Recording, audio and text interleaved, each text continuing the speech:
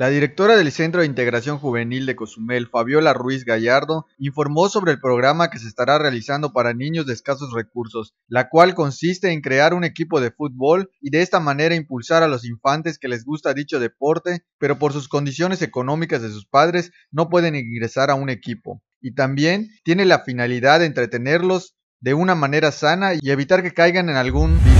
Vamos a iniciar en el mes de finales de agosto, eh, septiembre, un eh, equipo de fútbol infantil que la idea es que bueno pueda ser eh, permanente, darle continuidad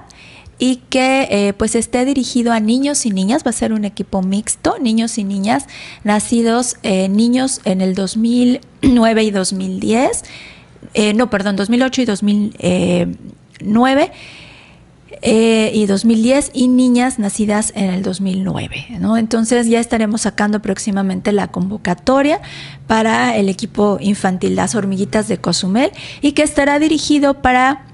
niños y niñas también en una situación vulnerable o de escasos recursos, que tengan gusto por la actividad, por el fútbol, pero que en ocasiones no tengan la posibilidad por parte de su familia, etcétera, de apoyarles para dar eh, continuidad a que ellos pertenezcan y realicen, practiquen esta actividad deportiva. Pues básicamente es eh, fomentar también una actividad eh, positiva, saludable entre los jóvenes porque, y los niños, porque pues es un hecho que no solo la información eh,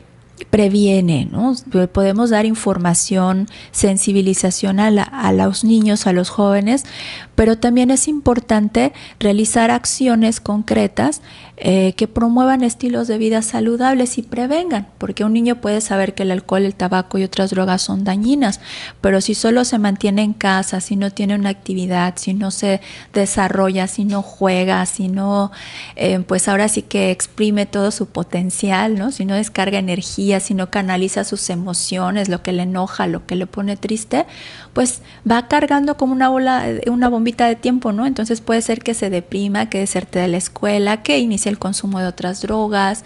que se meta en situaciones de alto riesgo. Con imágenes de Ariana Araujo, informó para Canal 10 Benjamín Carrillo.